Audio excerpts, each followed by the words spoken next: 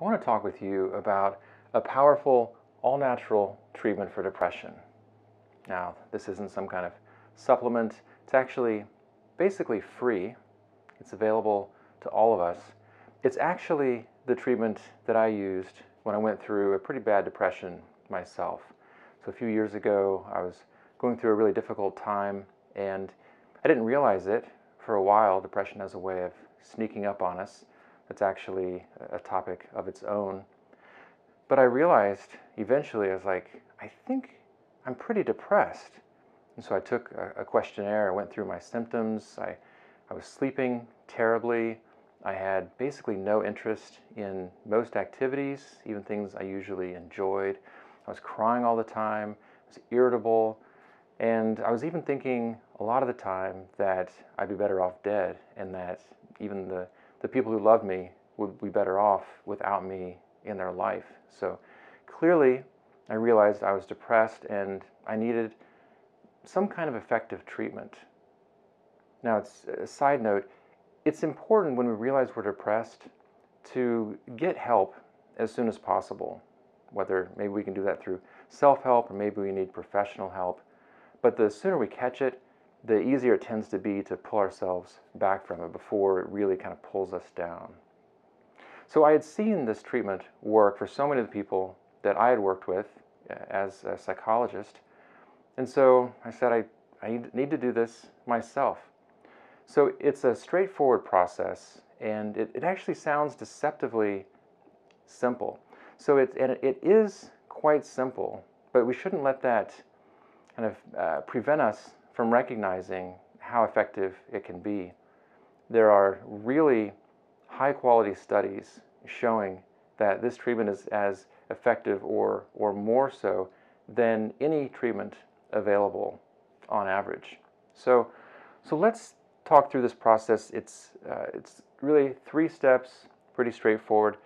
The first step is just to identify high reward activities that we could do more of in our life. So we want to kind of take a look at the landscape of our lives and ask, you know, where am I doing things that that I find are fun, or maybe not like like we kind of fun, but enjoyable things that, that bring us a sense of pleasure. And am I doing enough things that are important? Do I feel like I'm taking care of the important stuff in my life? So, for example, enjoyable fun activities might be things like hanging out with people that we like, maybe uh, watching uh, movies, reading books. Important things can be like taking care of chores, taking care of work, doing our uh, daily responsibilities around the house. So as I went through, I realized, wow, my, my life had really gotten smaller through my depression, kind of this, this gradual, insidious process of things I'd stopped doing. So it can help to take an inventory like this as you're making uh, your list of activities. Do it with uh, a friend or a family member, someone you trust, if this is helpful, because they might be able to help you come up with ideas. Part of being depressed a lot of the time is just it can be difficult to generate ideas. We, we're often not as creative uh, as, as we usually are when we're depressed. So, uh, activities for me included things like getting regular exercise, things I enjoyed doing, not kind of punishing have to type of exercise, but more like going for daily walks, doing some yoga. One of the things that I found most rewarding was really getting into gardening. I knew that I'd enjoyed gardening, and, and I was kind of at a loss at first. I was like, gosh, I mean, I, I know I used to have hobbies, I used to have things I enjoyed doing, but but what did I used to like to do?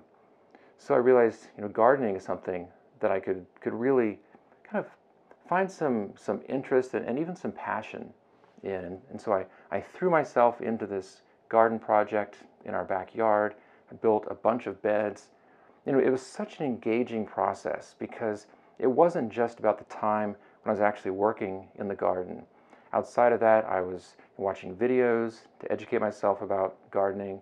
I was reading books about gardening. It, had been hard to read uh, for a while. I just couldn't find the, the interest or the motivation for it. I would try to read a book and there's just like like no like it wasn't sticky like it didn't it didn't draw me in at all. I just felt like, oh, like this this book. I thought it was the books for a long time until I realized like every book is uninteresting, and then I I, I knew uh, again that was a symptom of the depression.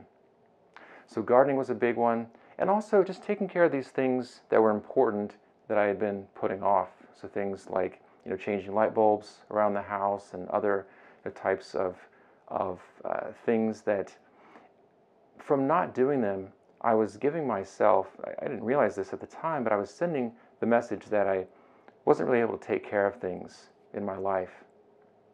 So make that list, make it as, as broad as possible, kind of uh, include as many items as you can, even ones you feel like right now you may not be able to do, just get them on the list. We can always work up to them. So speaking of working up to things, we want to rank the activities from easier to harder.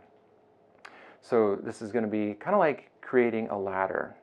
So we don't start climbing a ladder in the middle, right? We start on the ground, right where we are.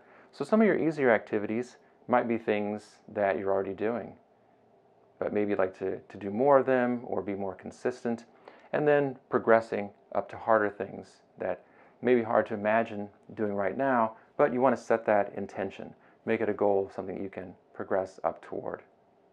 And the final step is just to do the activities systematically. So I recommend trying to do at least one thing each day. I should be careful with the word try. That can, can have a feeling of like, yeah, I'll, I'll do it if I feel like it. I mean, plan, uh, you put it in your calendar to do one of the activities from your list each day.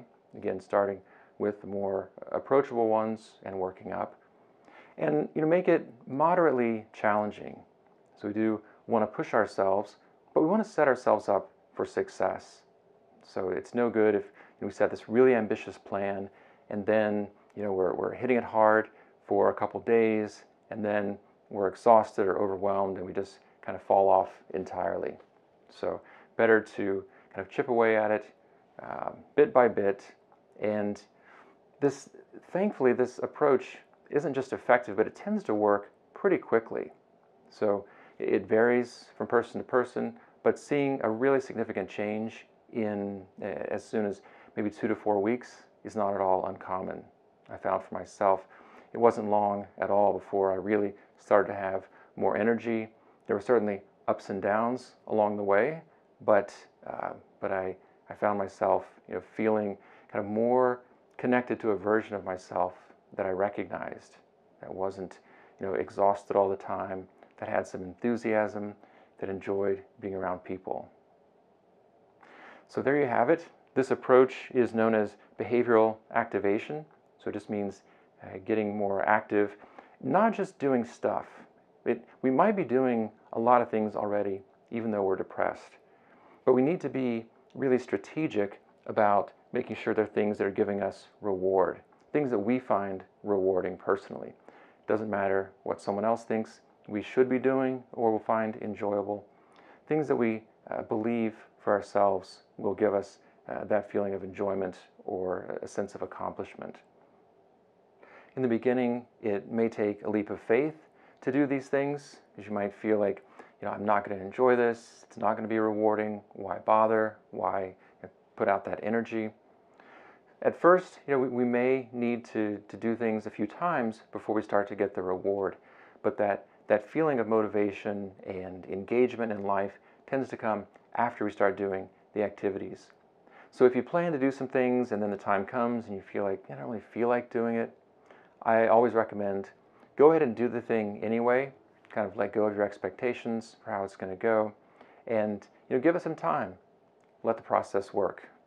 So if you have any questions about this process, feel free to leave them in the comments down below. Thank you for watching.